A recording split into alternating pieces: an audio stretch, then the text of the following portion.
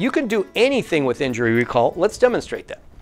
So she's going to touch here, and I'll test. Actually, want you to touch with this hand, and I'm testing here.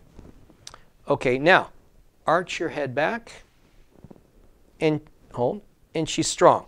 But if she went weak, then what we would do is she would touch here, and I would do the injury recall technique. So I was talking to Dr. Schmitt, Dr. Wally Schmitt, and he says, yeah, you could do that with any organ or any place in the body. Now, she didn't need that, but I'm demonstrating what you do.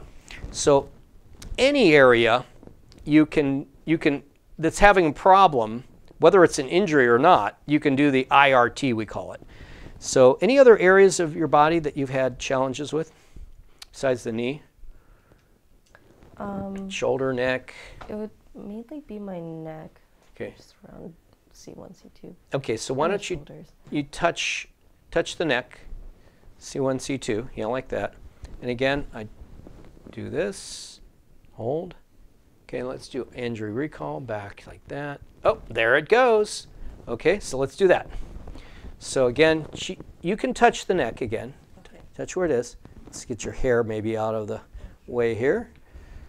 Okay, and now I just, while you're touching that, I'm going up like this.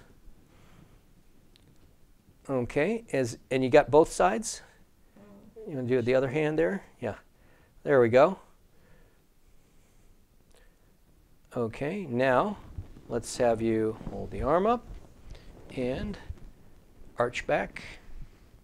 And that's better. And then I'll just tap along here too to anchor it in. Okay.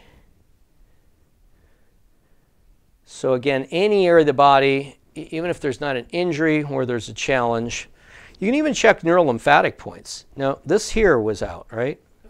You, you know, was, was tender anyway. So touch that with your left hand. Okay, and let's see what happens. Arch back. Okay, it's fine.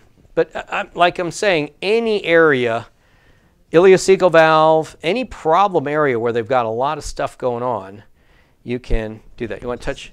Yeah, touch the shoulder. Okay. Strong. Arch back. Oh, we got another one. Good. You could do a whole session just clearing injury recall and technique, and the person will often walk out of it. We didn't check your flexibility, but that would have been cool. And right there. How's that? Feeling good. Okay, let me tap it in, and then we'll check it again.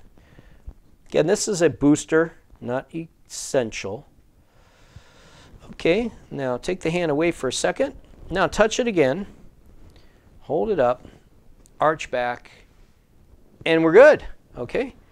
So yeah, you can have fun with ileocecal valve as well as injury recall. These are two really prominent techniques.